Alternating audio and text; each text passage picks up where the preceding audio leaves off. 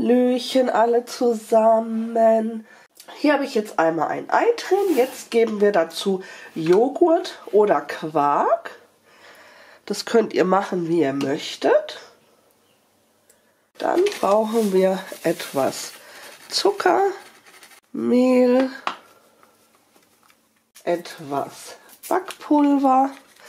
Man könnte jetzt auch noch Rum dazugeben. Ich hätte sogar ein kleines Fläschchen da. Das habe ich mir extra mal für Backsachen geholt.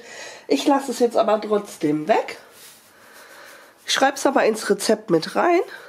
Prise Salz. Und dann könnt ihr das ja einfach machen, wie ihr möchtet. Und Vanillezucker. Und man könnte auch noch Rosinen dazugeben, beziehungsweise eingelegte Rumrosinen. Wer mag. Ähm, wer meine Videos kennt, weiß, dass ich Rosinen hasse. Deswegen kommt es bei mir schon mal auch nicht in die Tüte oder hier in die Schüssel. Und deswegen habe ich jetzt für mich alle Zutaten zusammen. So, jetzt habe ich hier mein Öl. Wenn ich jetzt hier das Holzspießchen reingebe, sehe ich, dass da Blubberblasen entstehen. Und das heißt, dass mein ähm, Öl heiß genug ist.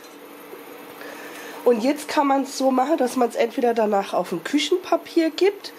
Ich habe jetzt hier eine Schüssel mit Zucker stehen, also mit Kristallzucker und werde es dann da reingeben, dass der Zucker auch direkt haften bleibt. Aber man könnte das natürlich auch abkühlen lassen, also auf ein Krepppapier, Küchenkrepp und dann mit Puderzucker bestreuen. Aber jetzt gucken wir erstmal. Ach so, ich wollte das eigentlich dass ich den Löffel hier erst reingebe, dass es dann einfacher vom Löffel abgeht.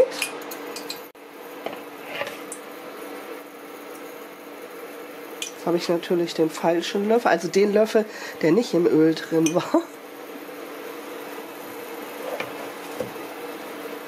Was ich halt daran gut finde, da braucht man halt auch nicht so viel Öl, weil man kann die ja, kann die Größe ja so bestimmen. Und da muss jetzt nicht der ganze Topf dann voller Öl sein.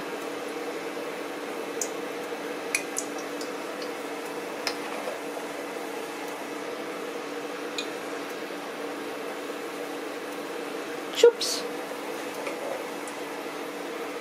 So, jetzt lassen wir die erstmal. Die brauchen ja auch ein bisschen Platz für sich, ne?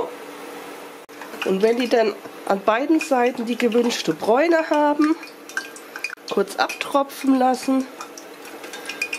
Und wie gesagt, ich gebe es jetzt da in den Zucker rein.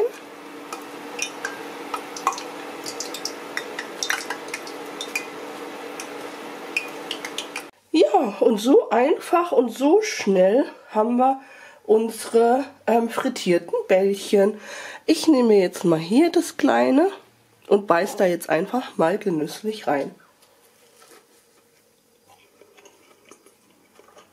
Mmh. Der Teig ist mega fluffig, ganz soft, super lecker. Mmh.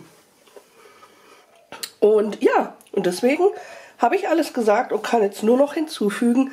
Macht's nach, lasst es euch schmecken und dann hoffe ich, wir sehen uns wieder beim nächsten Mal. Tschüss!